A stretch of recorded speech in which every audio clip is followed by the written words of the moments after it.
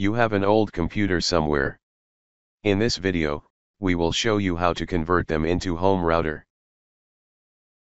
You need to install one more network card and one USB stick for your computer.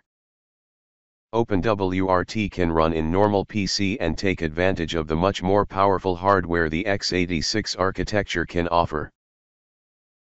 Download OpenWRT from openwrt.org. Choose the release version, then click on Target and then on x86. You will see different targets.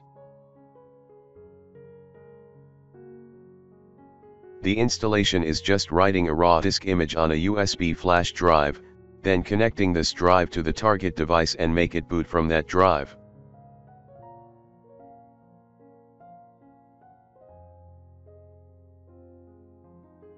You will need a program to extract the raw disk image from the compressed archive you downloaded.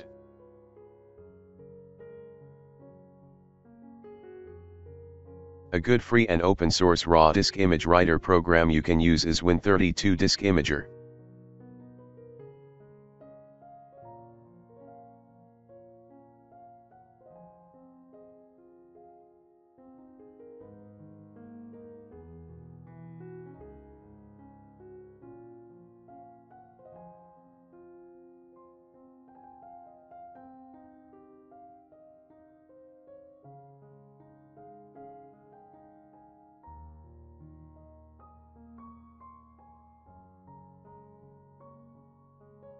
Then you will need to open the raw image file with a program that can write it on the drive you want to install OpenWRT on.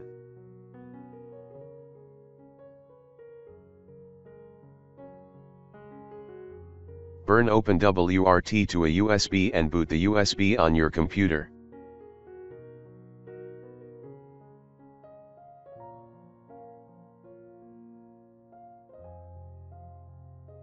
One port is WAN and one port is LAN.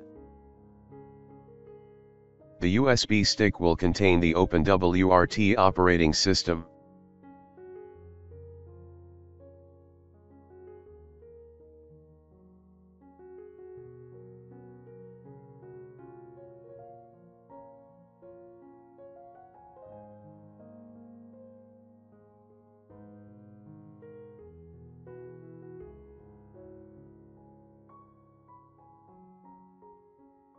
This is the screen after the computer boots up.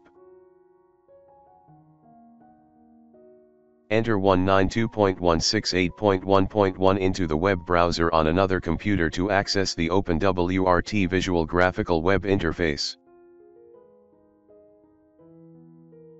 Make some necessary settings for accessing the Internet.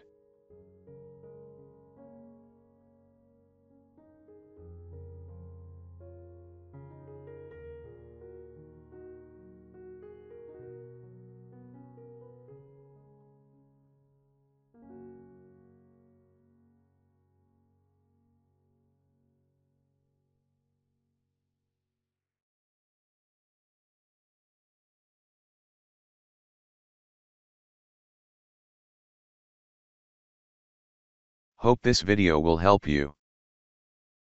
Thanks for watching, don't forget like and subscribe.